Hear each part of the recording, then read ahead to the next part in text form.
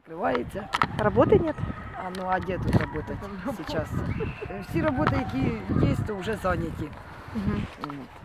Ну, а якщо і посилає центр зайнятості на роботи, то там не оплачується.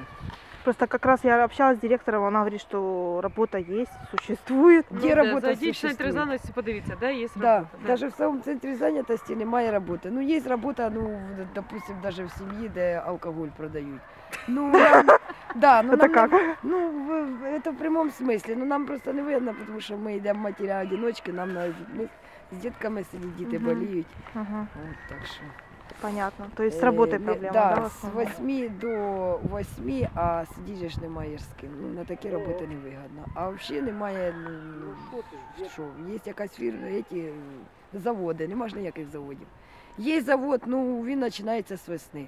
Це посилають на поля там і на агро.